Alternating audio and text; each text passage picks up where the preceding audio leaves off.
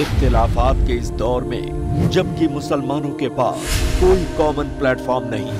नफरत के इस माहौल में आई प्लस टीवी का एक अनोखा कदम, देवबंदी, बरेलवी, जमात इस्लामी और अहले हदीस के उलमा आपसी इख्तलाफात को दूर करने, उम्मत और देश की भलाई के लिए खुलकर करेंगे बात, आई प्लस टीवी की एक और पहल।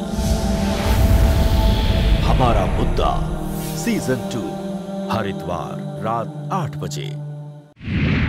सिर्फ़ आई प्लस टीवी पर। बेहतर ज़िंदगी के लिए। आई प्लस टीवी देखने के लिए आज ही अपने केबल ऑपरेटर से डिमांड करें।